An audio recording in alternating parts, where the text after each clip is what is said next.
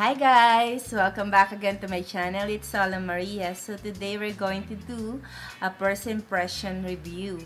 So I'm going to review this um, lovely foundation, the BH Liquid Foundation, Naturally Flawless.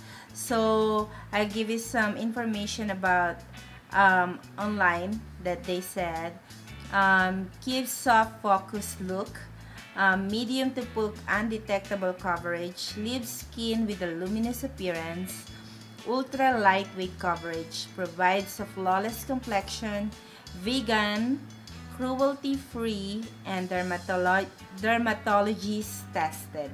So, yun daw siya. And nagkakahalaga siya for $9.50.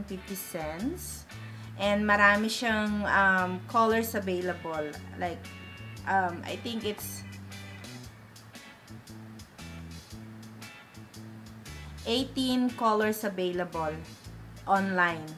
So, yeah, I think you can only order this online. They don't have on in the store. Like in the drugstore or Walmart, they don't have it. So, kailangan sasadiin mo talaga siya online.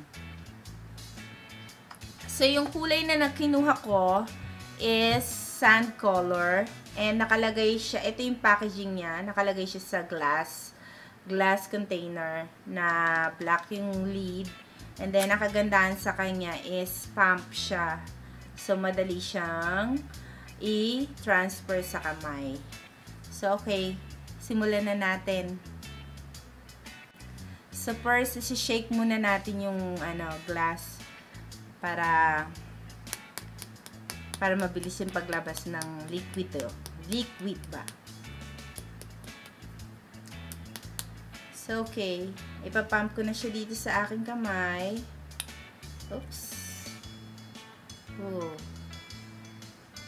Medyo malapot siya. See? Ni, hindi, hindi halos gumagalaw. And then, gagamit tayo ng brush. Okay. So, before that, maglalagay muna tayo ng primer sa face. I almost forget. Gamitin ko muna ng uh, primer is e.l.f. Hydrating Face Primer.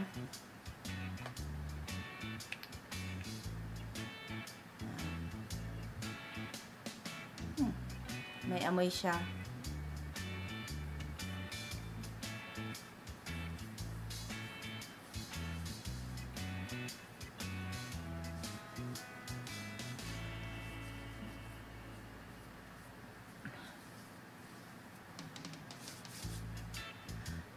Before natin i-transfer yung um, um, foundation sa ating face, saamoyin ko muna.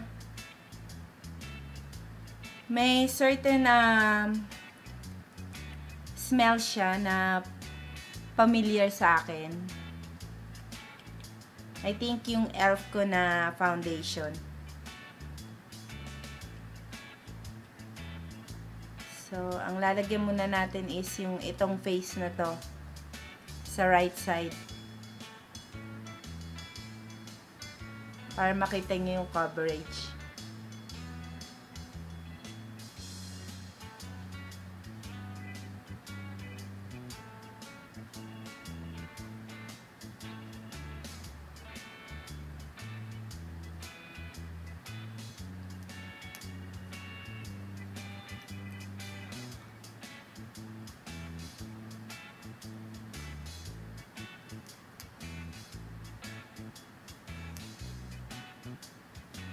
You see, eto na yung uh, nalagyan na natin ng foundation. Eto yung skin ko.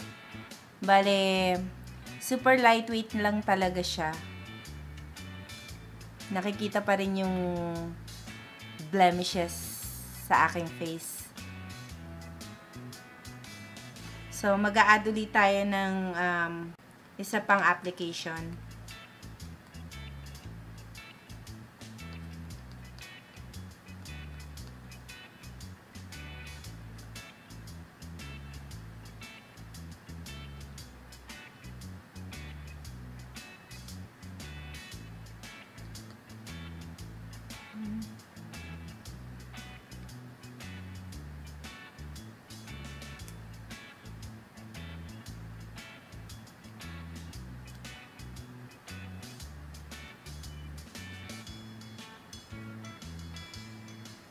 There you go guys.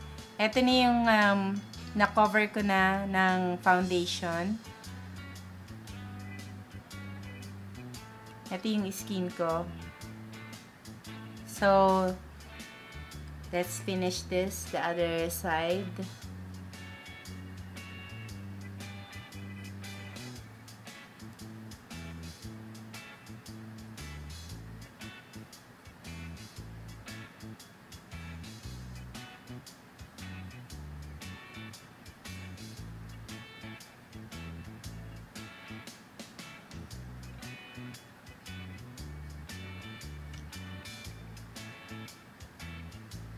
May scent talaga siya, pero tolerable naman. So, yan. Another second application ulit.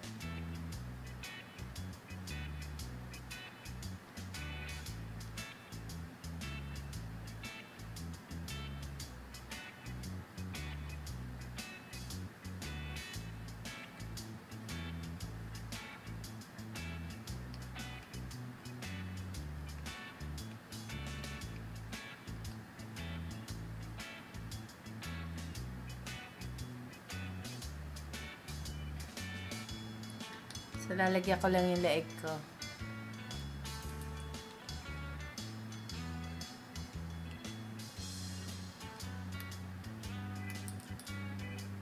I mean yung chin sa may ilalim ng baba.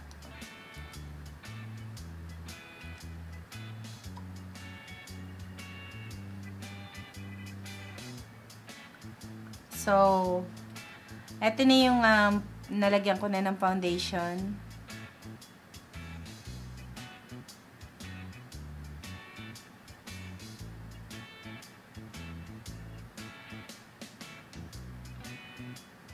So, I'll get back to you. Tatapusin ko lang yung aking makeup.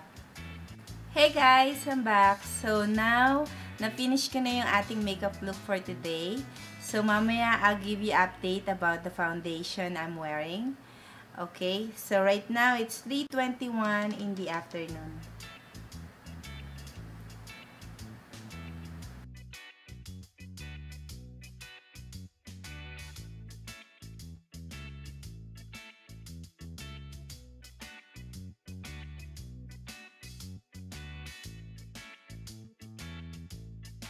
Hi guys, I'm back. So, As you can see, yung foundation na nilagay ko kanina, mga 3 o'clock. So, now it's 5.07 na ng hapon. And until now, intact pa rin yung foundation. Maganda pa rin yung coverage niya sa face ko. Walang namumuo dito sa ilalim ng ilong. Wala. Kahit dito sa may aking under eye area, wala naman namumuong anything na na ano ng foundation. Maganda pa rin yung pagkaka coverage ng aking face. And nag-ano na ako niyan ha. Naglinis na ako ng bahay and nag-bake pa ako ng cookies. So napagpawisan na lahat-lahat. Pero maganda pa rin yung coverage niya. So later on I will give my final thoughts. I'll be back in a few hours. Hi guys! I'm back again for the final thoughts for uh, PH Liquid Foundation. Um, as you can see, no? Intact pa rin yung ano niya, yung liquid foundation. Maganda. Like ko siya for everyday use. Um, yeah, kasi very lightweight lang talaga. As in, um, magandang magandang gamitin pang araw-araw. Pero kung mga lakaran, syempre, dun tayo sa mga medyo may pangalan. Although, it's really good. It gives me a flawless skin. Hmm. Yan. So, nabura na ng tuloy yung lipstick ko, pero okay lang yan. And as um, sa foundation, maganda pa rin siya walang namuong kahit na ano na, di ba may mga foundation na parang namumuo sa mga gilid-gilidan ng, ng ilong natin or dito sa may pinaka lines natin dito sa may under eye. Pero wala. Sa akin wala. Feeling ko okay sa akin yung ano, BH Liquid Foundation. Subukan nyo rin guys. Maganda rin siya. Medyo may ano nga lang siya, may scent siya na tolerable naman. At saka, kailangan din talaga maglalagay kayo ng loose powder. Kung oily skin kayo, I don't recommend this for oily skin. Kasi yung formula niya parang medyo oily. Pero, kung hindi naman ganun ka kagrabe kayo mag-oil, okay lang. Pwede yun. Kayang, kaya yung gamitin. Okay yung gamitin. Palagay ko itong liquid foundation na to is good for um, normal, normal and oily skin combo. Pero kung oily lang kayo, hindi siya good for your skin. Mm, yun lang masasabi ko. So, sana nagustuhan nyo ang aking um, BH Liquid Foundation review. And sana matry nyo rin. And kung matry ninyo, just leave a comment down below and let me know your comments and your thoughts about the foundation. And until then, next time, maraming salamat. Ciao!